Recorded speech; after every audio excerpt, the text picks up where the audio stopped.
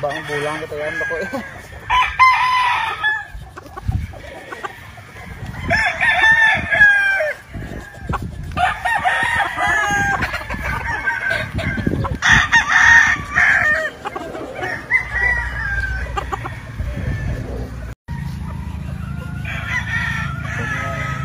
primed. Work yellow legged hat with bullets. So, station, well balanced, red eyes. Dump spot, yellow legs. Magandahan lang, laman talaga to. Uy, yun. Dikte yung palo niya. Sa palo lang, palakasan. Yan. Okay.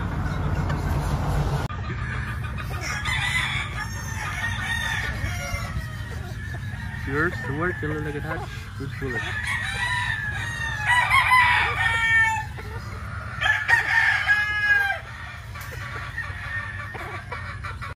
So maligayang araw po ulit mga kasama.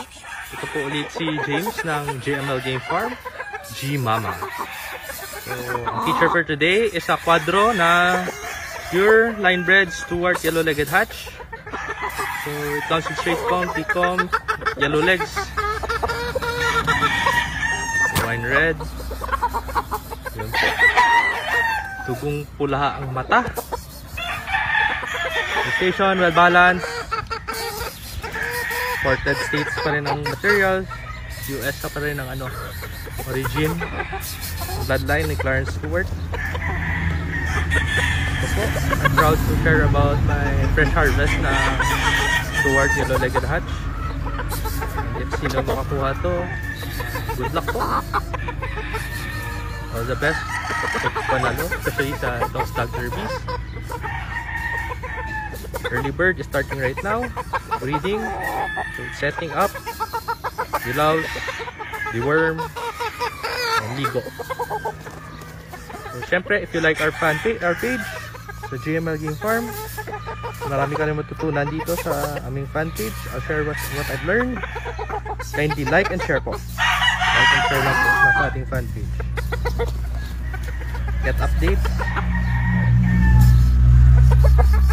on what's the what's the new trend innovation sa ating industry. Alright? Thank you po. Thank you everyone for listening. God bless. Stay safe always.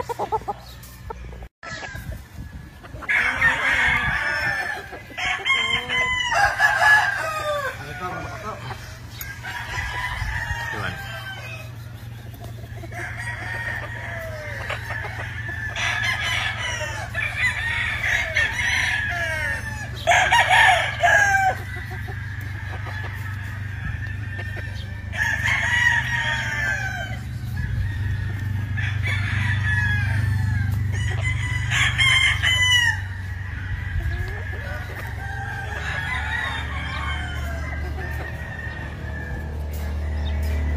Okay, word yellow legged hats. Look. One time winner, cockfight winner na Stuart legged hat. Kapaktari lang.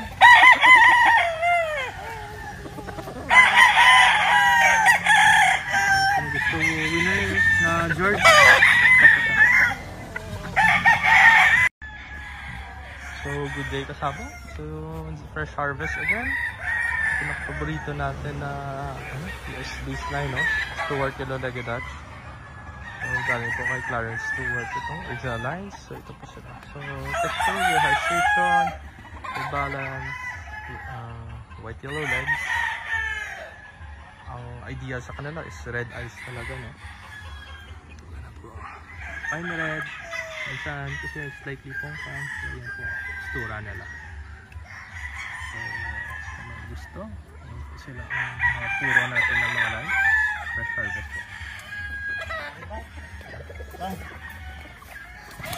may dagdag pa sila. Isa. Stewart yun na that's nice. So, in all, ready for ano is 8 pieces.